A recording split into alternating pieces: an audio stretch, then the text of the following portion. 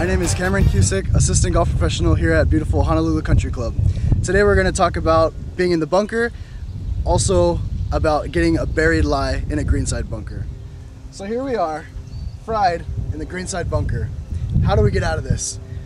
Like Ikaika said earlier, what we're looking at is a ball that's buried and we have to get it out and lob it out. So we're not going to try to hit the ball, we're actually going to try to hit enough sand that the ball is going to be forced out by the sand.